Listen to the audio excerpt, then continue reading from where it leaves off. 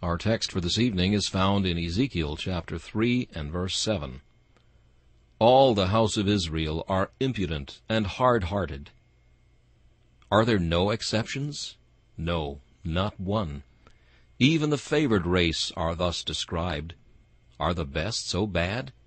Then what must the worst be?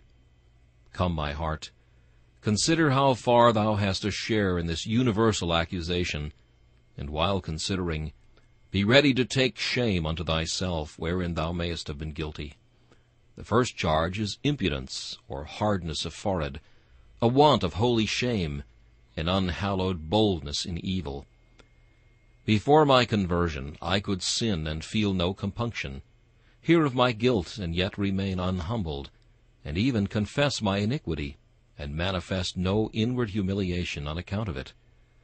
For a sinner to go to God's house and pretend to pray to him and praise him argues a brazen facedness of the worst kind. Alas, since the day of my new birth, I have doubted my Lord to his face, murmured unblushingly in his presence, worshipped before him in a slovenly manner, and sinned without bewailing myself concerning it.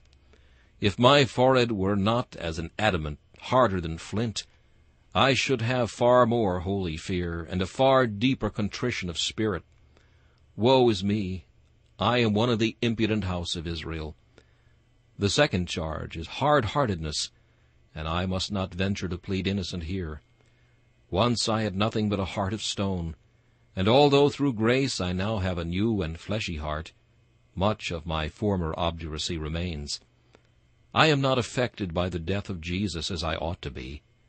Neither am I moved by the ruin of my fellow men, the wickedness of the times, the chastisement of my heavenly Father, and my own failures, as I should be. Oh, that my heart would melt at the recital of my Saviour's sufferings and death.